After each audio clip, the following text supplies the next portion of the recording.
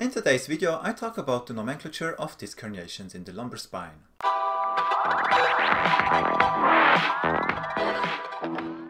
So people use a wide variety of different terms when they are describing disc herniations and there are even institutionalized vocabularies like that are getting passed from generation to generation of radiologists.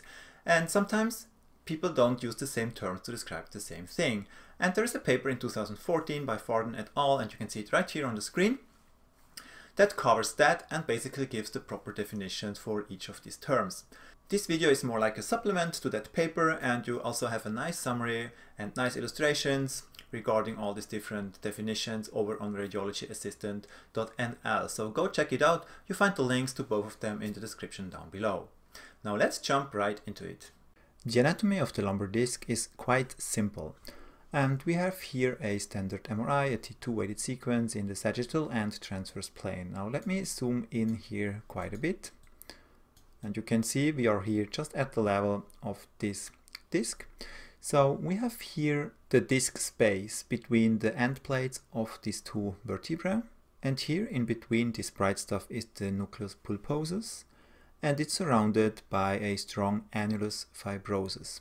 And why is it called an annulus, which is like a ring-like structure? You can see it here because here we have the bright structure, which is the nucleus pulposus, and here the outer rim, the darker one, that's the annulus fibrosus.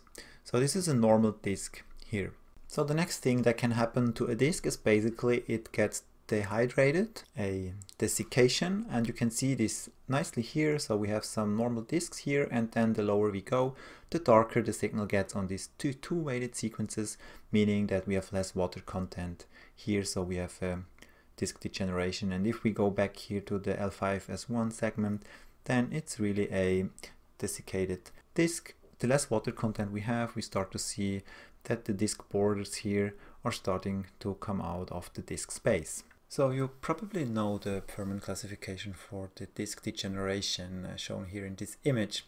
Funny enough that working together with Professor Pfirrmann for about five years, we never really used this classification like at all. So interesting side fact here.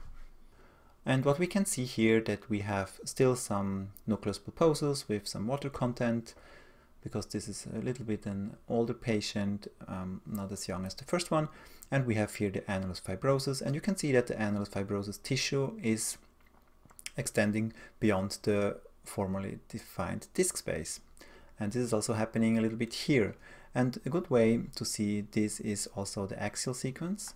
You can see here we have the upper border of the end plate here and if you go downwards you can see that this area is actually larger than it is here on the bone. So this is a sign that we have a symmetrical bulging disc or diffuse disc bulging sometimes called. And it's important to realize that this is not a disc herniation by the new definition. Well it's not that new anymore but it's not a disc herniation because technically the disc material is still contained here within the annulus fibrosus and it's only the annulus fibrosus that is actually extending beyond the disc space. It can be symmetrical like in this case but it can also be asymmetrical if it's just bulging to one side or the other.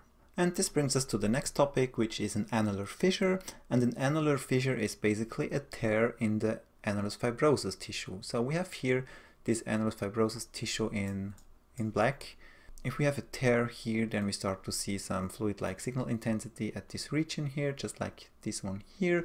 And just to show you that we are dealing actually with uh, fluid here, this is a T2 fat saturated sequence here.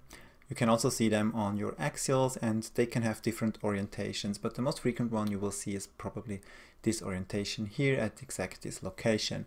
And it's an important distinction to not use the term annulus tear, but rather annular fissure because a tear somehow implies a traumatic, traumatic origin and this can have consequences in the medical legal space. So, and it might translate into your own reporting language uh, in the same way. It At least it does in German. I always report them even if they're small because they can actually be painful. This is a nice example of a disc extrusion on the level of L5S1 here. So first of all, you can see that the annulus fibrosus here is torn or there is a defect and we have disk material from the nucleus pulposus going through here and then here exiting the disk space and we have this large disk herniation. And because this distance here is wider than the base it's actually a disk extrusion. And you can nicely see this here. If this was would just be like this here and the same here on this image then we could call it a disk protrusion and this is also nicely seen here. You can see here this disc is quite okay. We have still the nucleus pulposus here intact and enough uh, fluid content and then we have the annulus fibrosus and if you go down here and you window a little bit you can start to see that this annulus fibrosus starts here uh, tearing apart if we go a little bit more laterally you can see that it's still intact but here we have a defect and we might actually have a beginning of a disc herniation here at this level. The next thing that can happen is basically a migration of disc material, which is a displacement of this material away from the initial site of extrusion here. So basically we have here this disc material that is migrating a little bit downwards here and it is still in contact with the initial disc extrusion here.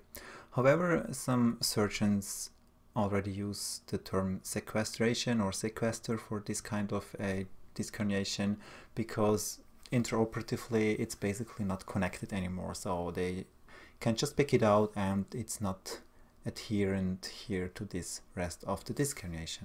Keep in mind that these disc migrations can happen into the posterior epidural space. And I've seen several cases myself but I'm showing you here a case report and you can see here we have this disc or this mass here in the posterior spinal canal with uh, still some contact here to the rest of the disc. So there was a disc herniation that then migrated into the posterior epidural space. And don't confuse that with uh, some kind of a tumor. And have this posterior migration as a differential diagnosis if you see any uh, strange masses here in the spinal canal at the level of the disc.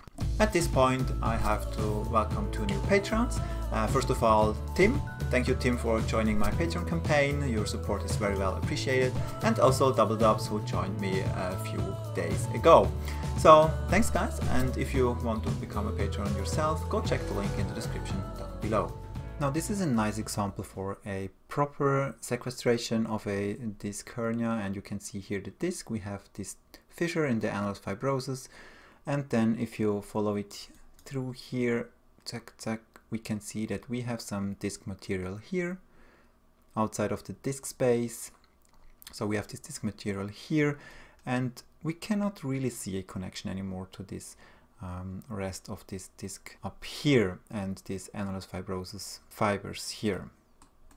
So that would be a true sequestration.